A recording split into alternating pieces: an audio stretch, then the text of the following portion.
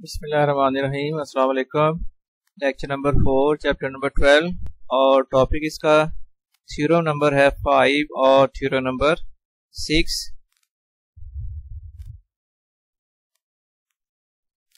तो सबसे पहले थ्योरम नंबर फाइव और ये इससे पहले थ्योरम एक आया था थ्योरम नंबर फोर ये उसका कन्वर्स यानी उलट है। स्टेटमेंट आएगी prove that any point inside an angle एक पॉइंट जो कि एंगल के इनसाइड में होगा is equidistant from its arms वो पॉइंट जो एंगल के इनसाइड में होगा, वो इक्वी डिस्टेंट होगा, जो कि इक्वी डिस्टेंस है आर्म से तो फिर वो क्या होगा is on the bisector of it तो वो फिर पॉइंट जो है वो एंगल के बाई सेक्टर पर मौजूद होगा। तो ये इसमें इतना हिस्सा जो मैंने हाईलाइट किया है, ये गिवन है। ये चीज़ जो है वो गिवन में आ जाएगी। कि पॉइंट है इन साइड एंगल के इन साइड में है और वो पॉइंट जो है वो आर्म से इक्वी डिस्टेंट ऑलरेडी है। तो ये प्रूव करना है कि पॉइंट जो है वो एंगल के बाई सेक्टर पर होगा। तो is on the bisector of it ये हमने प्रूव करना है। हम ये प्रूव करेंगे कि एक्चुअली ओ पी जो है ये पॉइंट तीसरा है कि एंगल पी ओ क्यू और एंगल पी ओ आर जो है वो इक्वल इक्वल एंगल है। या ये कह लें कि ओ पी जो है वो एंगल ए ओ बी का बाई सेक्टर है।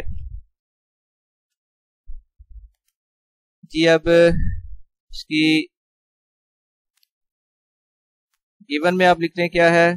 पॉइंट है जो कि इन साइड ऑफ़ एंगल है और आर्म से इक्वी डिस्टेंट है ये इसका गिवन होगा। Any point P lies inside angle A O B such that P Q is congruent to P R ये डिस्टेंस पी क्यू और ये डिस्टेंस पी आर ये, ये कॉन्ग्रेंट है इक्वल है।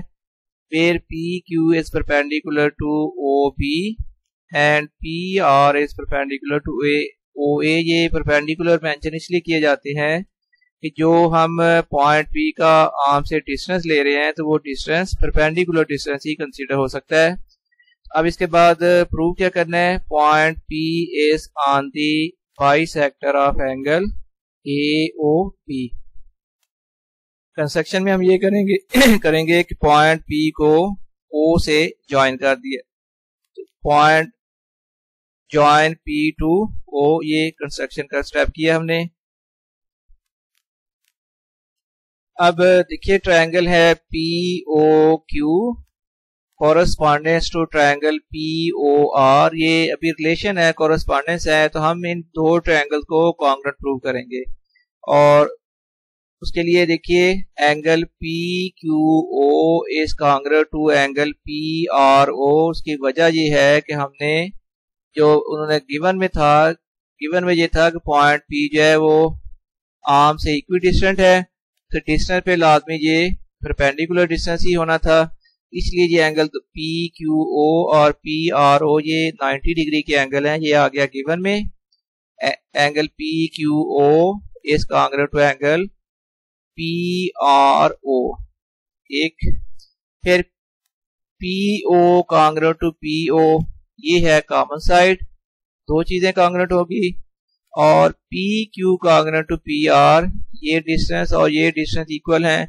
इसकी रीजन है कि गिवन में उन्होंने दिया हुआ था कि पॉइंट पी जो है वो आम से इक्वल डिस्टेंस पर है। इक्वल डिस्टेंस है। अब देखिए, और ये एक राइट एंगल ट्रायंगल है और राइट एंगल ट्रायंगल में एक एंगल और एक साइड भी अगर कॉन्ग्रेट हो जाए तो वो राइट एंगल ट्रायंगल जो है वो कांग्रेट हो जाती है। 90 के अलावा अगर एक एंगल और एक साइड कांग्रेट हो जाए तो वो एंगल जो है वो क्या हो जाता, वो ट्रायंगल जो है वो कांग्रेट प्रूव हो जाती है। फिर triangle P O Q is congruent to triangle P O R और ये वैसे side angle side angle side का पास्टुलेट है, लेकिन अगर साइड एंगल साइड का पास्टुलेट किसी राइट एंगल ट्राइंगल के लिए अप्लाई हो तो फिर उसको H S hypotenuse side postulate भी कहते हैं।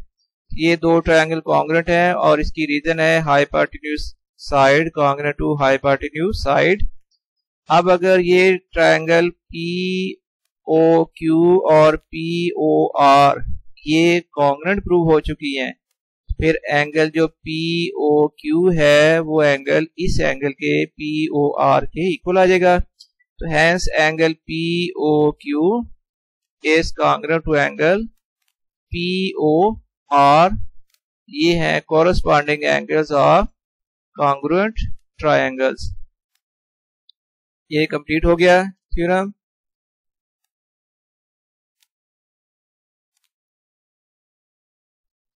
that is P is on the bisector of angle AOB ये लास्ट लाइन लिख रहे हैं इसमें। इसके बाद नेक्स्ट फिर है theorem number six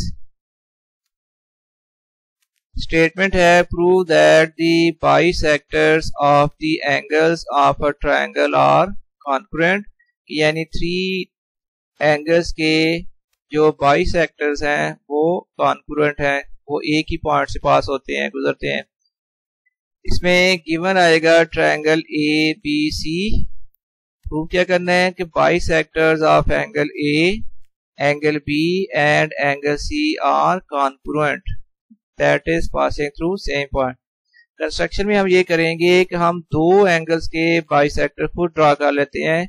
angle B का बाई सेक्टर ड्रा करेंगे और एंगल सी का बाई सेक्टर ड्रा करेंगे। अब ये दोनों bisectors of the angle जो है वो पॉइंट आई पर इंटरसेक्ट कर लेंगे। इसके बाद फर्दर जो प्रूव किया जाएगा तो draw the bisectors of angle B and angle C which intersect at point I angle B का बाई सेक्टर ड्रा किया और एंगल सी का बाई सेक्टर ड्रा किया, जो कि पॉइंट आई पर इंटरसेक्ट करते हैं। फिर आई से from I draw I F perpendicular on A B and I D perpendicular on B C and I E IE perpendicular perpendicular on A या इसको पढ़ लें ए सी तो यानी दो एंगल्स के बाइसेक्टर पॉइंट आई पर इंटरसेक्ट हुए और आई से फिर थ्री साइड पर परपेंडिकुलर ड्रा कर दिए।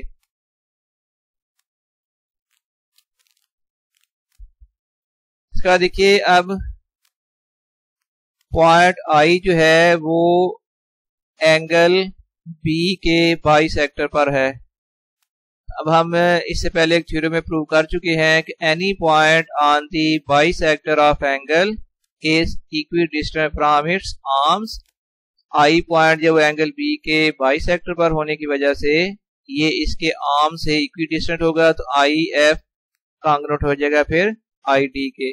Any point I F congruent to I D इसकी रीजन आएगी any point on the bisector of an angle is distant from its arm similarly point I जो है वो एंगल सी के B angle by sector पर है. इस angle के बाई सेक्टर होने की वजह से फिर पॉइंट आई जो है वो एंगल सी के आर्म से भी इक्वी डिस्टेंट होगा. Therefore I D congruent हो जाएगा. आई एफ़ के या आई ये पहला हो गया I F congruent to I D similarly I D congruent हो जाएगा आई ई के इसकी रीजन के point I is on the bisector of angle C अच्छा अब देखिए I F congruent to I D and आगे फिर I D congruent to I ई इसका मतलब ये होगा कि आई एफ़ कांग्रेट हो जाएगा आई ई e के अगर आई एफ़ कांग्रेट है आई ई e के। मतलब ये कि पॉइंट आई जो है वो एंगल ए के आर्म से इक्वी डिस्टेंट प्रूव हो रहा है। फिर ये लाजमी एंगल के बाई सेक्टर पर होगा। ये भी इससे पहले थ्योरम में प्रूव हो चुका है। तो अब ये I F Kangra to I ई का मतलब ये हुआ पॉइंट आई जो है वो एंगल ए के आर्म से इक्वी डिस्टेंट है। पॉइंट जो एंगल के आर्म से इक्वी डिस्टेंट होता है तो वो एंगल के बाई सेक्टर पर होता है तो इसका मतलब so point I is on the bisector of angle A point I जो था, वो एंगल बी के बाई सेक्टर पर था, ये हम कंस्ट्रक्शन में कर चुके थे, और पॉइंट आई जो था, वो एंगल सी के भी बाई सेक्टर पर है, ये भी कंस्ट्रक्शन में कर चुके हैं। और अब ये रिज़ल्ट प्रूव हो रहा है कि एंगल पॉइंट आई जो है, वो एंगल ए के भी बाई सेक्टर पर आ रहा है। जिसका मतलब कि three bisectors of the angle pass through point I also point I is on the bisectors of angle B and angle C ये कंस्ट्रक्शन में कर चुके थे हम। Thus the bisectors of angle A angle B and angle C are confluent at point I तो ये इसके साथ ही ये थ्योरम कंप्लीट हो गया है। ये लास्ट थ्योरम था इस चैप्टर का, और ये थ्योरम नंबर सिक्स और लास्ट थ्योरम था इस चैप्टर का तो इसके साथ ही ये लेक्चर भी कंप्लीट हुआ।